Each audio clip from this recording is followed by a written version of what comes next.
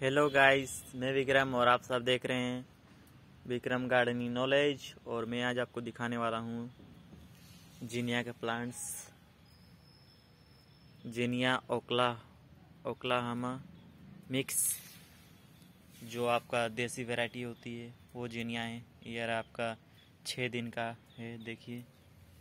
कितनी अच्छी ग्रोथ हो चुकी है जीनिया। आसानी से आप देख सकते हैं।